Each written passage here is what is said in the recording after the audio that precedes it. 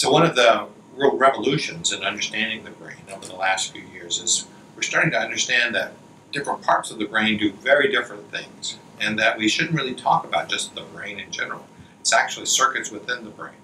And uh, so uh, we've known in other parts of neurology that different faulty circuits can cause the problem. In Parkinson's, for tremor, we know pretty well the circuit and even where the problem is. We can go in and actually rewire or stick a wire in and treat that. Um, we're starting to apply that same concept now and understand uh, more traditional psychiatric illnesses. It's exactly the same thing.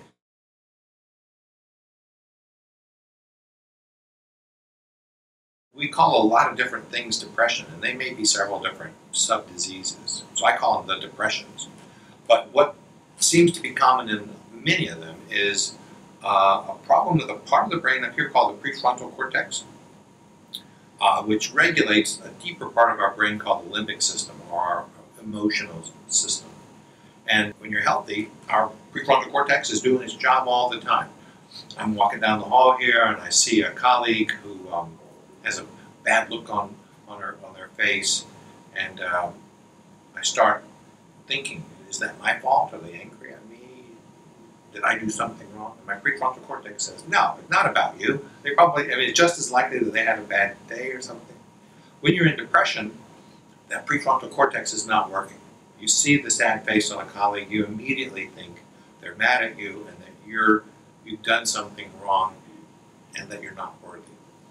Your prefrontal cortex can't engage in that flexible thinking, that flexible interpretation of the world. And your limbic system, the emotional system, just runs rampant. So we think that that cortical, subcortical regulatory loop is just not working in, when people are depressed. And then if we can get it back working, uh, the depression goes away.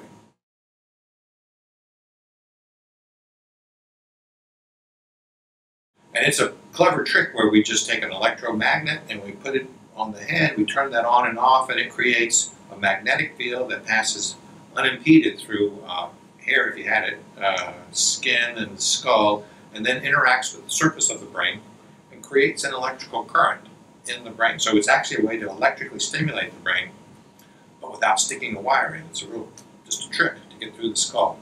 Now it's an FDA-approved treatment. There are over 500 machines sold in the U.S. We have a couple of machines here at MUSC, we have a very active clinical practice, and it's now FDA-approved for treating depression, and um, it's uh, more and more reimbursed by most of the insurance companies.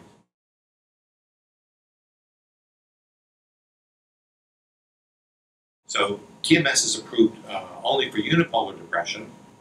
I think it actually works in bipolar depression, but it just hasn't been sh effectively shown and FDA approved. But unipolar depression, adults over 18, um, who've typically tried and failed a couple of medications. So they've tried Prozac, it may have worked and then stopped working, or they couldn't tolerate the side effects. So it's people in that class that have tried um, talking therapy and medications and they, they're not getting what they want, or they have side effects that are intolerable.